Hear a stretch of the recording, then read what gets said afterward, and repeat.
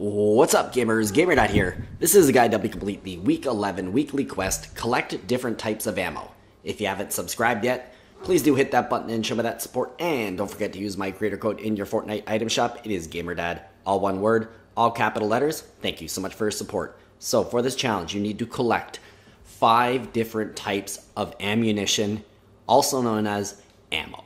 You can find ammo on the ground, within chests, within small and large ammo crates, supply crates, the loot of a dead player's body.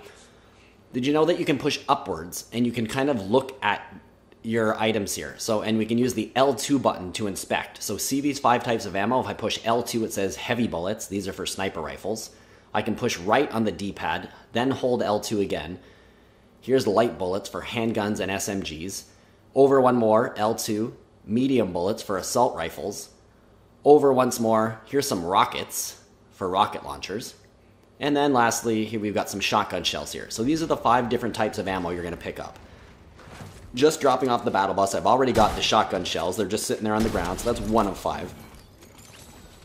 Now, you can find tons of ammunition all over the place, but it's so not necessary.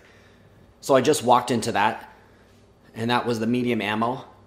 And now here's a small ammo crate. So you open those up, that's the ammunition I've already picked up once. And so just check it. You can check on it here. What do you already have? I've got the medium and I have shotgun shells. So this first one won't count for anything new. I've already picked it up, but this, these are the bullets that the SMG uses, and those do count. So that is three of five.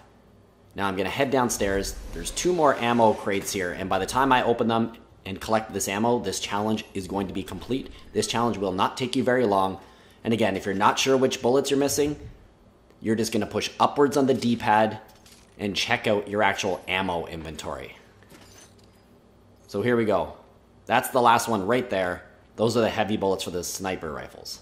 So I do hope that the guide is helpful. Please drop a like leave me a comment, and if you haven't subscribed yet, please do hit that button and show me that support, and don't forget to use my creator code in your Fortnite item shop. It is GamerDad, all one word, all capital letters. Good luck with the challenge, and until the next video, this is GamerDad out.